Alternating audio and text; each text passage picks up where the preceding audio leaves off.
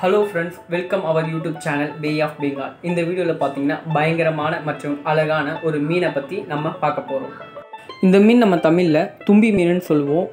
இங்கிலீஷில் பார்த்தீங்கன்னா red line ஃபிஷ்ன்ட்டு சொல்லுவாங்க.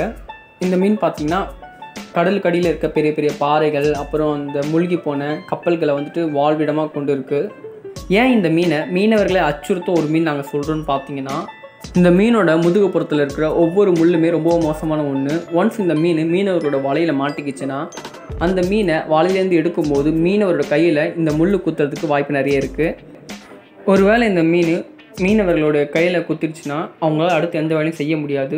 ஒரு சாவுக்கு நிகரான வலி வந்துட்டு அப்போ இருக்கும். அது மட்டும் இல்லாமல் இந்த முள் குத்தின இடம் உடனே வீங்கி போயிடும்.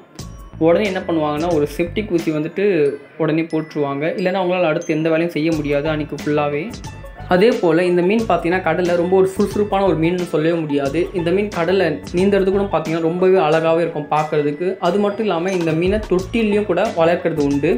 இந்த மீன் ரொம்பவே ஒரு ஸ்லோவான மீன். இந்த மீனை தூக்கும் போது பார்த்திங்கன்னா நம்ம இந்த மீனுடைய கண்ணை பிடிச்சோ அல்லது வாயை பிடிச்சோ தான் தூக்குவாங்க.